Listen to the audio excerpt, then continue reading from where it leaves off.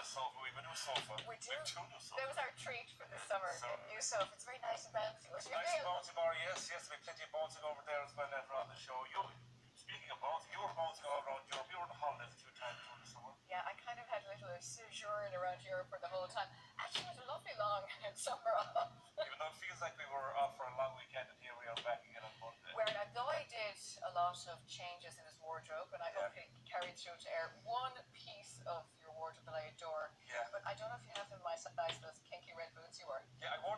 Naturally, it was put up to by Owen McDermott uh, and their Gallagher to a fan. They said, um, Owen put up a tweet of him in the book. And I said, keep me a pair for the road, naturally. Did you? Aha, right? Yeah. So he said, come on, we'll deal with this. Uh, Terry Dern and then they were kind of putting it over to me. They got loads of different bands involved, like the Coronas and everything, to get oh, me to do it. Brings yeah. money, though, so I think 35 or